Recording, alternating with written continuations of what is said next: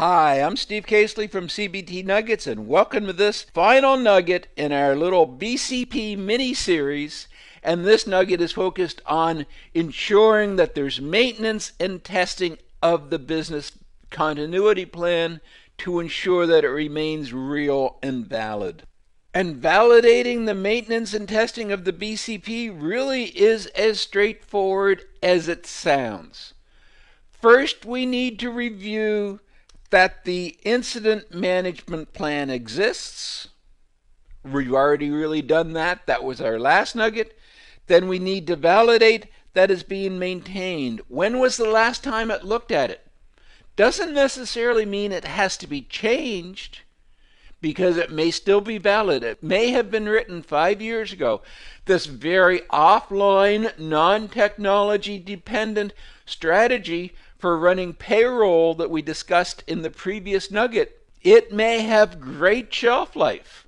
And it may last for five, six, ten years without single maintenance.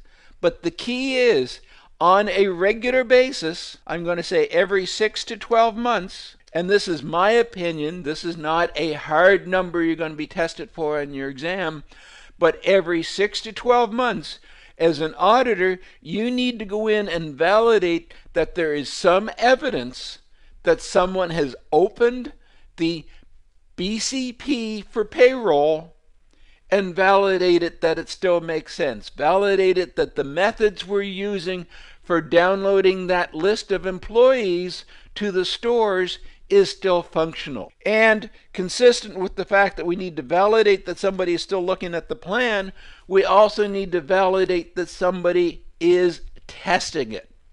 Now, in the case of the payroll system, the test would be as simple as going to a random number of stores and validating that the list exists and that somebody in the store understands what this list is and that it can be executed. And part of it is validating that somebody knows how to run the manual procedures. A totally different story, and this actually is from my wife's background, not my own.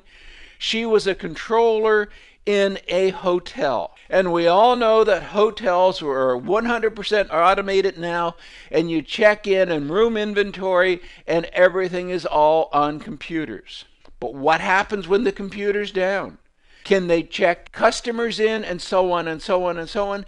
And yes, this hotel chain at least has a manual process where they again on a regular basis they take an offline copy of the room inventory and an offline copy of all of the pending reservations and someone should be able to check a customer in to a vacant room based on those manual procedures when my wife executed her BCP test, she found out that most of the old staff had been around for a long period of time who actually worked pre automation, were able to use the manual processes and perform the actions to check a guest in offline. Most of the new staff who had only been there since automation literally stumbled very hard trying to check customer in offline. So, as a result of her testing, she discovered there were manual procedures. The process worked great. The reports were generated, they were stored in a safe place, etc., etc., but the actual staff didn't understand those HR policies that we talked about two nuggets ago to execute under the BCP plan.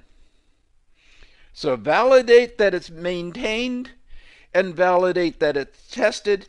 And when you have audit results, validate that the audit results have been acted upon and in fact the issues have been resolved.